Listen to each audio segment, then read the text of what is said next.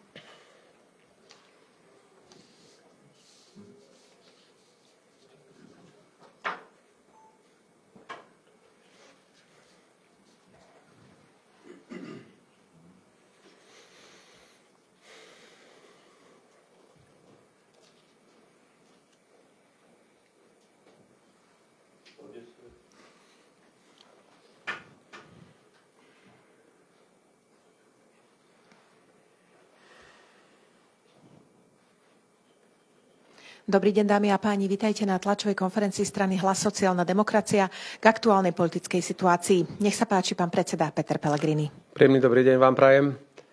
Dámy a páni, vládna koalícia dnes v priamom prenose ukázala, ako si predstavuje vládnutie v menšinovom kabinete. Jednoducho boli ste svedkami toho, že vláda Eduarda Hegera a ním vedená koalícia nedokázala dnes do parlamentu priviesť ani len tých svojich 72 poslancov, ktorí deklarujú podporu tejto vládnej koalície a schôdzu sa dnes ani na dva pokusy nepodarilo vôbec otvoriť. A potvrdzujú sa slová, ktoré hovoríme už e, niekoľko týždňov. Vládna koalícia nedokázala v parlamente bez problémov alebo bez prieťahov fungovať, ani keď mala 93 poslancov a ústavnú väčšinu. Boli sme svedkami toho, ako parlament častokrát stál, prerušené rokovania boli, zákony, ktoré sa častokrát posúvali e, o 5 schôdzi dozadu, pretože na nich neexistoval konsenzus. A dnes sa plnej e, nahote ukázalo, ako to bude fungovať po odchode SAS vládnej koalície. Jednoducho menšinová vláda, ktorá nedokáže povedať, s kým mieni túto krajinu viesť až do volieb najbližších a jednoducho nemá k dispozícii ani len 76 na to, aby otvorila schôdzu. Chcem povedať, že e, strana hlas je, naďalej zostáva veľmi razantnou a jasnou opozičnou stranou a nenechá sa zapliesť do žiadnych šeftov, ktoré by mohli smerovať e, k akejkoľvek podpore tejto menšinovej vlády. Neexistuje, aby sa niečo také stalo a preto za nami nech nikto ani s takýmito návrhmi, ktoré by pomohli prežiť tomuto torzu a zbytku tejto okyptenej koalície, nech za nami ani nechodí, pretože e, pohorí. My sme tu boli, my sme sa zúčastnili rokovania, ale štandardne, ako sme aj avizovali, sme využili obštrukciu a nezaprezentovali sme sa tak, ako to urobila celá opozícia. Jednoducho potvrdzuje sa, že tento marazmus sa musí skončiť a opakujem, že jediným, jediným elegantným a demokratickým riešením tejto situácie je dohoda všetkých politických strán alebo väčšiny politických strán schváliť novelu ústavy, ktorú predložil predseda parlamentu Boris Kolár, aby bolo možné vyhlásiť e, predčasné voľby alebo skrátiť si volebné obdobie. To platí nie pre túto vládu, ale vo všeobecnosti do budúcna, pretože taká zmena ústavy na základe rozhodnutia ústavného súdu je správna následne vyvolať rokovania, ak nebudú schopné politické strany takéto rokovania urobiť. Vyzývam pani prezidentku, aby zvolala predsedov strán, ktoré sú v parlamente a pokusila sa e, otvoriť rokovania o vyhlásení termínu predčasných volieb.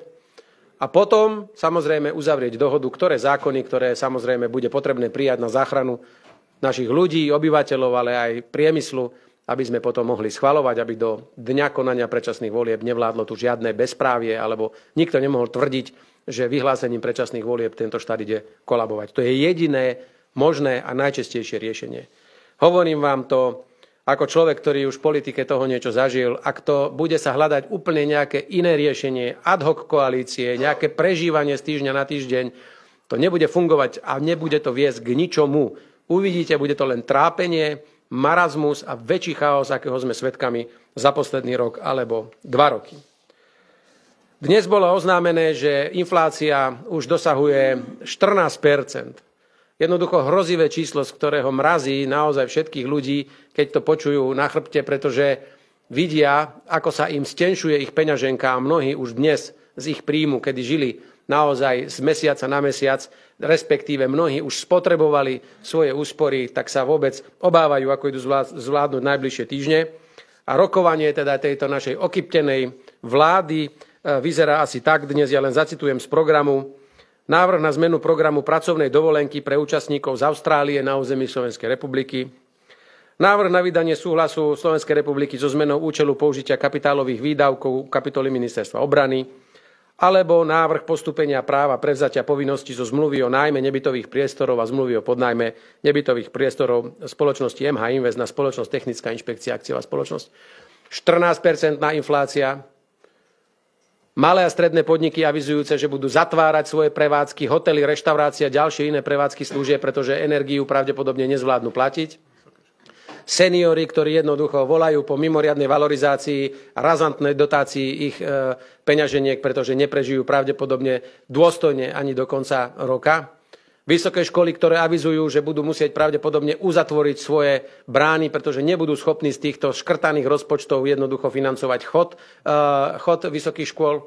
Samozprávy, primátori, starostovia, ktorí sú v štrajku a ktorí pred úradom vlády masívne prezentovali, že nezvládnu za tejto situácie poskytovať občanom kvalitné služby lekári, ktorí teraz zbierajú postupne výpovede, aby tak pohrozili vláde, aby sa im naozaj nejakým spôsobom pomohlo. A takto by som to mohol vymenovať ďalej a ďalej. A vláda dnes rieši nejakú úpravu dovoleniek e, z Austrálie, alebo ja neviem čo. Takto dnes vyzerá reálna situácia e, v Slovenskej republike. Neuznašania schopný parlament, absolútne nefungujúca a neschopná vláda, ktorá vôbec nerieši to, čo riešiť má. Preto ešte raz opakujem, poďme z kratšej cesty dolu. Nech sa vládna koalícia prikloní k tomuto návrhu. Je to demokratické, je to normálne aj v každej inej demokratickej krajine na západ od nás, že keď jednoducho koalícia zlyhá, tak sa hľadá spôsob, ako toto trápenie ukončiť elegantne v rámci ústavy, v rámci demokratických princípov a ako umožniť ľuďom ešte raz si vybrať, kto ich má z tejto krízy nakoniec vyviesť. Chcem povedať veľmi jasne, že hlas ani v útorok nedodá vládnej koalícii žiadne hlasy na to, aby bola otvorená schôdza. Budeme čakať a chceme vidieť v priamom prenose, kto nakoniec sa rozhodne tento zbytok Matovičovej koalície v parlamente podporovať. Chceme to vidieť a myslím si, že to chcú vidieť aj občania Slovenskej republiky. Kto ide držať tejto koalície nakoniec chrbát? Hlas to určite nebude. A možno predbehnem aj niektoré otázky. Ak príde návrh aby sa mimoriadne body, ako je rozšírenie Severoatlantickej aliancie, nakoniec predsa len schválilo na mimoriadnej schôdzi. Samozrejme, s takýmto návrhom nemáme problém. Ale zároveň budeme navrhovať, ak takúto schôdzu máme podporiť, aby na túto mimoriadnú schôdzu bol zaradený bod zmena ústavy Slovenskej republiky, ktorú navrhol Boris Kolár a ktorá má umožniť vypísanie predčasných volieb. Vtedy hlas takúto mimoriadnu schôdzu podporí. Na druhú stranu chcem povedať ešte jednu vec. Že nech sa nikto v parlamente, hoď ten dôvod znie vznešenie, nedá vydierať rozšírením Severoatlantickej aliancie, pretože to nie je otázka týždňa ani dvoch. Tá ratifikácia bude prebiehať e, samozrejme niekoľko mesiacov, to musia schváliť všetky členské krajiny. Zároveň ešte posledná ratifikácia pravdepodobne bude v Turecku, ktoré bude samozrejme vyčkávať do posledného momentu. Takže to nie je otázka že ak slovenský parlament do týždňa okamžite nespustí schôdzu a neschváli vstup severských krajín do NATO, tak je nejaký medzinárodný škandál a Slovensko bude vyzerať zle. Vôbec nie. To ešte iné krajiny doteraz tiež nie všetky schválili, čiže tu máme čas a vyzývam všetkých, nech sa nedajú obalamutiť, nech sa nedostanú pod tlak, že kvôli tomuto vznešenému cieľu treba okamžite otvoriť schôdzu. Netreba. Treba im to dať jednoducho vyžrať, ukázať, takto ste dopadli, vážení. Nemáte ani len 76 poslancov na to, aby ste otvorili schôdzu. Hlas podporí otvorenie mimoriadnej schôdzy s bodmi o vstupe do NATO len vtedy, ak tam bude zároveň aj bod na e, zmenu ústavy Slovenskej republiky. To je naša jasná podmienka a s týmto budeme e, chodiť, ak nás vôbec niekto na rokovanie e, pozve, ale samozrejme my na rokovania žiadne chodiť nemusíme, my sme opozícia, veľmi jasne svoj opozičný postoj dávame najavo. Ďakujem veľmi pekne. Dobrý deň, Patrik Jager, Teatri. Pred vami rečníro uh, Richard Sulík. Akú spoluprácu si viete predstaviť so stranou SAS, napríklad aj keď hovoríme, že pripravujú odvolávanie Igora Matoviča, môžu s vami počítať? Ako bude možno tá spolupráca vyzerať? No pozrite, v opozícii si nevyberáte partnerov. V opozícii ste s tými, ktorí v opozícii sú. A opozícia samozrejme vždy dokáže spolupracovať bez ohľadu na to, kto to je, ak ide o zásadné veci, ako je vyslovenie nedôvery vláde, odvolanie ministra alebo samozrejme presadenie nejakých zásadných vecí na prospech e, občanov tejto krajiny. Tam myslím si, že sa väčšinou hlasy spoločne nájdú a na tom sa vždy opozícia zhodne bez ohľadu na to, kto ju tvorí. Je to úplne prirodzené. Opozícia, ktorá by nehlasovala za povalenie ministra alebo vlády, to je potom čo za opozíciu. Vyrušili ma ale slova pána predsedu Sulíka v tom, že opäť lebo som vám povedal, že my budeme veľmi pozorne sledovať a čakať, že či chce byť riadna opozícia, alebo len taká akože trošku ma podrža, trošku ma neviem čo. Pretože uh, on zároveň tu síce vystúpil silovo, ale v závere zase asi v tej svojej takej pravdovrávnosti hneď povedal, ale veď my do nekonečna im to nebudeme e, blokovať, veď my im to aj tak nakoniec ten program schválime. Zároveň tu povie, že ak sa mu podarí odvolať Igora Matoviča, no tak on už ďalej naspäť chce ísť do vlády a bude podporovať túto vládnu koalíciu. No tak potom, viete, ťažko sa bude s ním rokovať, keď na druhej strane e, všetky tie kroky majú slúžiť len na to, aby sa sa naspäť vrátila e, k vláde. Úlohou hlasu aj ďalšej e, veľmi jasnej opozície v parlamente ďalších opozičných strán je povaliť túto vládu. A preto budeme veľmi pozorne zvažovať, čo spravíme, pretože nesmieme urobiť chybu, že urobíme taký krok, ktorý znie samozrejme ľubivo a na druhej strane pomôže tejto vláde udržať sa do riadnych parlamentných volieb. Kľudne budeme podpisovať sa pod návrh na odvolanie Igora Matoviča a budeme zaň hlasovať. Ak SAS deklaruje, že podporí e, prednostne zmenu ústavy na vypísanie predčasných volieb a zároveň naznačí, že bude súhlasiť aj s dohodou o vypísaní predčasných volieb. Vtedy kedykoľvek môžeme s nimi hlasovať, čo bude treba. Ale že by si teraz od nás prišli vypýtať podpisy len na to, aby sa zbavili Igora Matoviča, čo samozrejme je úplne logické, že by sme sa ho chceli všetci zbaviť. Aby sa on následne mohol vrátiť do vládnej koalície, z tohto miesta by som ho možno, aby sa nám ľahšie rozmýšľalo, vyzval pána predsedu vlády a aj zároveň pána predsedu najsilnejšej koaličnej strany Igora Matoviča. Nech nám veľmi jasne odpovedia, či potom, ako bude odvolaný Igor Matovič hlasmi SAS v Národnej rade z postu ministra financií, či si vedia predstaviť, že ich naspäť zoberú do koalície, alebo budú s nimi ďalej vládnuť. To chceme vedieť. A podľa toho sa samozrejme aj, aj zachováme. Posledná otázka. Je podľa vás v poriadku, keď sa obyvateľia Slovenska pozerajú na takéto obštrukcie, že poslanci, ktorí majú chodiť do roboty, nehovorím, že nepracujú, ale jednoducho takto sa správajú. Ja si myslím, že asi ľudia čakajú, že by mali Samozrejme, hej? samozrejme. Ja pevne verím, že ľudia si pozerajú 93 poslancov Národnej rady, ktorí vytvorili koaličnú väčšinu na základe volieb, ako, ako vládnu. Máme tu vládu Slovenskej republiky, ktorá nechce odísť, nechce vypísať predčasné voľby, tak nech vládne. My sme opozícia. My sme tu v práci, ja som tu, aj kolegovia sú tu a budeme tu aj v útorok, aj koľko treba, ale nech vláda vládne. My tu nie sme na to, aby sme e, vláde držali, držali chrbát. Keď prídu voľby a nová vláda vznikne, tak tá nech vládne. Keď pán Heger tvrdí, že dokáže vládnuť, nech sa páči, nech ukazuje slovenskému národu, ako vládnuť chce. A keď nevie, tak nech ide z hrušky dole, vypíšme predčasné voľby a potom uvidíte, ako budú zákony prechádzať aj 130 poslancami. Pán Pelegrini, Jaburková noviny plus TV. Chcela som sa opýtať, e, vy ste sa vyjadrovali, že nemáte problém e, zdvihnúť ruku za dobré zákony, ktoré pomôžu ľuďom. Nejde ale práve toto neotvorenie schôdze trošku proti tomuto tvrdeniu, nakoľko aj na tejto schôdzi sú určité kľúčové zákony. No, sú tam kľúčové zákony, zmena ústavy, sú tam naše návrhy, aby každý senior na Slovensku dostal do Vianoc 515 eur priemerný dôchodok, každý jeden starobný dôchodca. Je tam aj náš návrh, aby každé dieťa ešte do Vianoc dostalo 200 eur extra navyše prídavok, e, aby sa pomohlo sanovať tie veľké náklady, ktoré rodiny s deťmi majú. Takže sú tam pre nás veľmi dôležité zákony. Ale prosím, nás nestávajte teraz do úlohy, že či toto je alebo nie je obštrukcia. Máme vládu, nech vládne. Nech vládne vládu, ktorá začala 93 poslancami. Nás teraz citovo nevydierajte, že my teraz máme podržať vládu Eduarda Hegera alebo Igora Matoviča. Ak Igor Matovič s Eduardom Hegerom majú dokázať vládnuť, nech vládnu. Na to nepotrebujú opozíciu. A keď nevedia vládnuť, nech idú preč. Medzi tým nič neexistuje. Žiadny iný spôsob. Samozrejme, že keď bude dohoda o schválení ústavy o predčasných voľbách, my podporíme akýkoľvek dobrý zákon. Ale nebudeme teraz odkazovať, že pošlite si sem hoci čo a my vám všetko zahlasujeme a takéto torzo my budeme držať pri živote až do roku 2024. Na to nech zabudnú.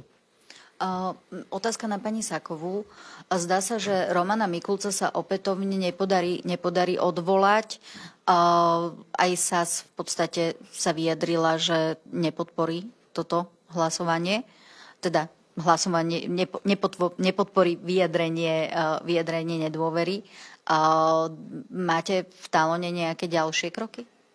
Ono treba povedať, že pán Mikulec už mal toľko prešlapov, že už niekoľkokrát mal odstúpiť sám, ak má svedomie a skutočne má chrbtovú kosť. Žiaľ Bohu, neodstúpil ani raz a nie je to ešte za všetky tie prúsery dohromady. No a treba povedať, že spoluvinní, tak ako je pán Mikulec a jeho kolegovia Zolano, sú všetci, ktorí ho doteraz prikrývali a ktorí hlasovali za jeho zotrvanie vo funkcii a v tej funkcii ho podržali aj tak, že hlasovali, že sa zdržali. No a jednoducho treba povedať, že pán Mikulec nie je minister, ktorý by mal sedieť na poste ministerstva vnútra, pretože eh, aj, ten posledná, aj tá posledná vec, ktorá sa hovorí o tom, že eh, táto vláda je antikorupčná a že bojuje proti mafii, tak pokiaľ ho pán Imreco usvedčil, že zobral 100 tisíc eur úplatok ako šéf vojenského obranného spravodajstva, je myslím si, že veľmi dobrý dôvod na to, aby pán Mikulec toto vysvetlil a aby sa toto prešetrilo od prešetrenia a respektíve od toho, ako vyšetrovanie pokračuje, nevieme vôbec nič. Stále sa hovorí, že je živé a nevieme o, ďal, o ďalších žiadnych krokoch. A myslím si, že toto je jeden z tých najväčších dôvodov, pre ktoré pán Mikulec už dávno nemal sedieť na jeho stoličke. A ešte za mňa posledná otázka na pani Lášakovú. Pani Lašaková začína sa ozývať z viacerých uh, kultúrnych inštitúcií, divadiel, ale napríklad aj galeria, takže tie ceny energie začínajú veľmi rapidne dopadať, dopadať aj na nich. Energeticky, najna, energeticky najnáročnejšou budovou je Slovenské národné divadlo, uh, kde sa bude súťažiť v podstate aj nový dodávateľ energie. Aké riešenie si vy viete predstaviť, ako teda bývalá ministerka kultúry, ako pomôcť týmto inštitúciám? Tam je pomerne jednoduchá odpoveď, pretože aj v tomto prípade platí, že ak nedokáže štát pomôcť, tak e, vláda nemá čo robiť na svojich miestach. To znamená, nie je to jedin, jediná situácia v Slovenskom národnom divadle. Tak ako ste povedali, galérie, múzea, knižnice, divadla, nielen štátne, ale aj tie, ktoré patria samozpráve, budú s týmto bojovať. Nechcem sa dožiť situácie, že sa zatvoria brány, pretože nebude na energie štátna pomoc, štátne dotácie. Nič iné si neviem predstaviť. Zatiaľ najviac to pociťujú práve tie nezávislé divadlá, ktoré sú, kde sú sídlia súbory skôr v prenajmoch. Ide o, často o komerčné prenajmy týchto priestorov. Čo s tým? Pozrite sa, ak e, vláda a vládna koalícia chce mať kultúru, musí niečo urobiť preto, aby tá kultúra mohla prežiť. To znamená aj samozprávy, netreba ožobračovať, ale aj tým samozprávam treba dať niečo navyše aj preto, aby mohli mať otvorené napríklad regionálne divadlá, regionálne knižnice a podobne. Takže opäť jedine dotačné schémy, dobre nastavené a dobre vyživené dotačné schémy štátu. Nič iné ne, neviem poradiť.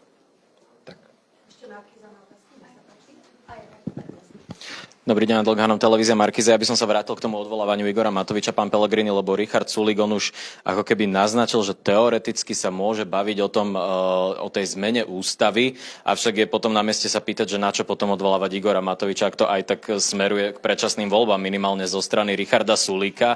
Ale toto jeho vyjadrenie vnímate ako možno nejaký, nejakú hodenú rukavicu, že poďme rokovať a dohodnúť sa a viete tam si zaviesť aj nejaký mechanizmus, aby tam nenastalo nejaké oblafnutie z jeho strany strany, že najprv vám odvolajú Matoviča a potom sa vráti s radosťou do vlády? Tak môžem doplniť ešte kolegu, že či už ste povedzme nerokovali s Richardom Sulíkom? Nie, nerokovali sme s ním. Každý jeden týždeň, o ktorý skôr sa podarí Igora Matoviča zbaviť stoličky ministra financií, je pre Slovensko dobrý a preto má to význam. Aj keby sme sa dohodli na predčasných voľbách, ho dovtedy nenechať na stoličke ministra financie, lebo ten človek za pol roka by dokázal napáchať obrovské škody a ešte viacej túto spoločnosť e, rozdeliť a, a porobiť úplne zlé veci. Takže určite áno.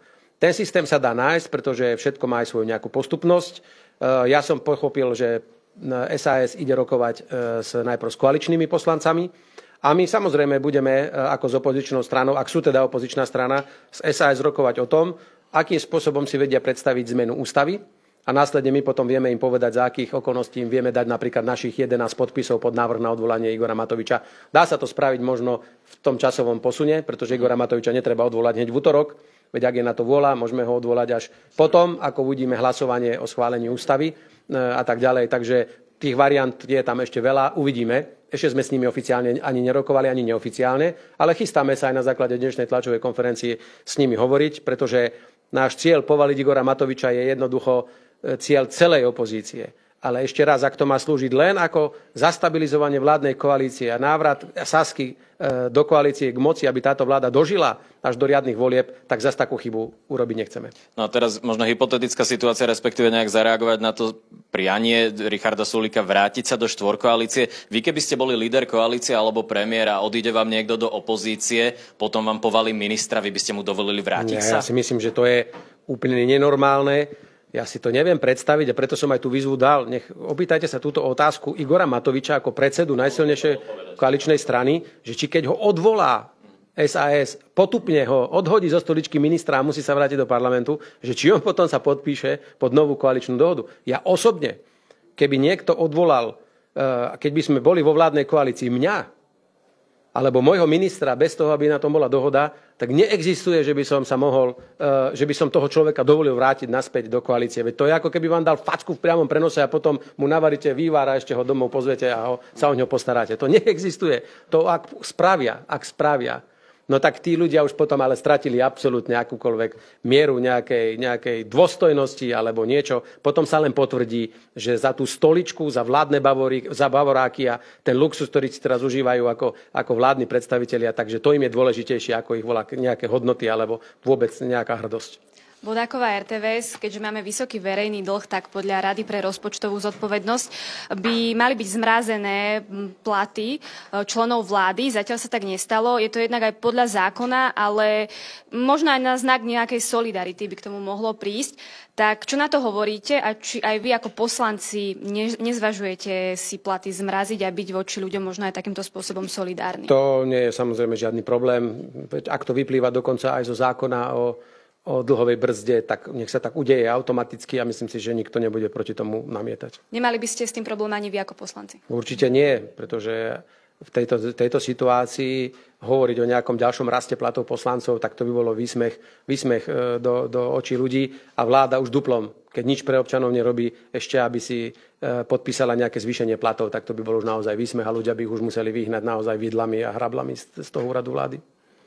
Ešte môžem len ešte sa vrátim k tomu rokovaniu s Richardom Solíkom, že či vy to budete iniciovať, alebo uh, naopak počkáte, že hmm. kedy príde s nejakou ponukou uh, Richard Sulík? Uvidíme. Ja si myslím, že možno sa stretneme ešte tu v parlamente, ak ešte sú tu.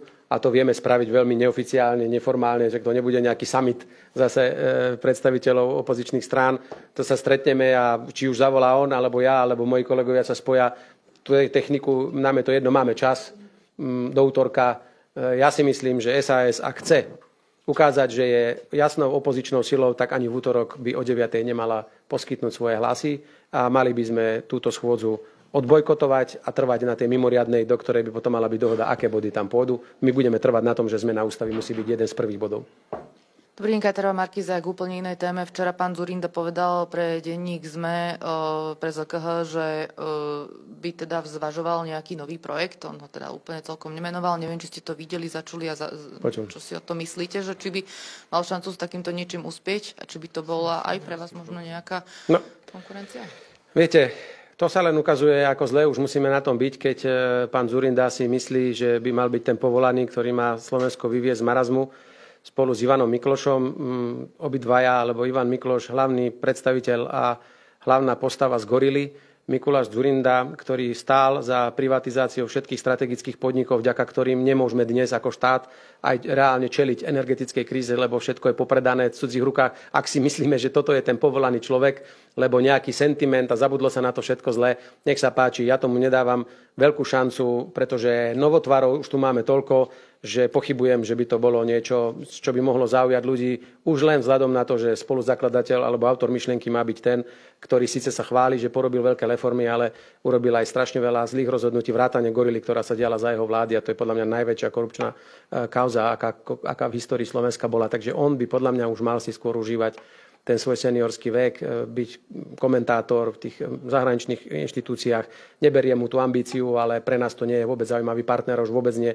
takýto pravičiar, že by mohol fungovať so sociálnou demokraciou. Absolútne to vylučujem. Už on dopredu. By, on by chcel asi pospájať rôzne mená s tým, že by nebol predseda. To je vec, o ktorej sa špekuluje v podstate niekoľko mesiacov. Myslíte si, že by spozornili strany v pravicovom spektre? Myslím si, že áno. Ak, tak tam by mali byť asi na pozore. Určite by sa potom museli tie pravicové strany, ktoré chcú byť lídrom pravice, e, trošku vážnejšie tým zaoberať.